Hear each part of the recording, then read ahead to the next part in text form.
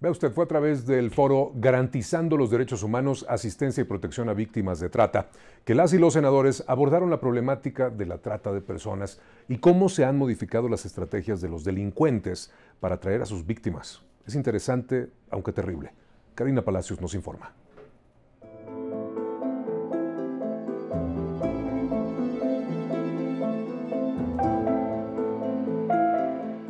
La senadora Olga Sánchez Cordero, presidenta de la Comisión de Justicia, señaló que la trata de personas es un tema transnacional que debe abordarse desde un enfoque multidisciplinario y con coordinación entre organismos gubernamentales, organizaciones sociales nacionales e internacionales, juzgadores y fiscales, a fin de atender a las víctimas.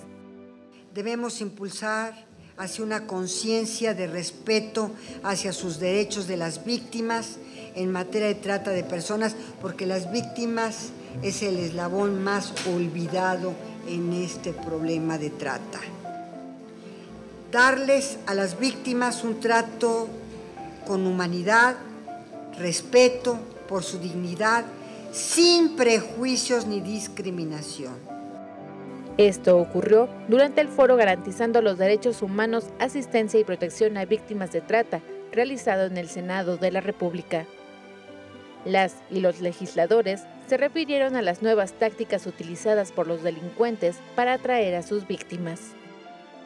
Las estrategias para enganchar a las víctimas son muchas, por ejemplo, las promesas laborales, relaciones románticas, préstamos económicos, entre muchas otras.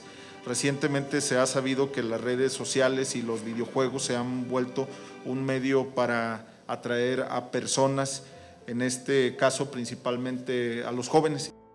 Resaltaron que es importante crear y apoyar las políticas públicas que fortalezcan el marco legal para garantizar las sanciones a quien cometa este tipo de ilícitos son necesarias para fortalecer nuestro marco jurídico y combatir la trata de personas, armonizar nuestro marco legal con los tratados internacionales de los que México forma parte. Estas iniciativas en general pretenden establecer el aumento de las penas para quienes cometen este delito, pero adicionalmente están eh, buscando modificar la ley con la finalidad eh, como lo dice la iniciativa de la senadora Sánchez Cordero, de acotar esta brecha entre la ley y la realidad. Especialistas y legisladores coincidieron en la necesidad de hacer uso de las tecnologías para erradicar este delito y evitar que los traficantes utilicen las fronteras para el traslado de las víctimas. Que logremos que la frontera sur tenga el equipamiento tecnológico necesario que permita identificar el momento en que se están trasladando ocultos hacia el interior de trailers, debajo de grandes maquinarias, eh, escondidos de diversas maneras, eh, grupos de personas. De acuerdo con el INEGI, en 2020, 21.2 millones de personas de 18 años y más fueron víctimas de trata. Sin embargo, no existe un consenso sobre la magnitud de este delito a nivel nacional ni internacional.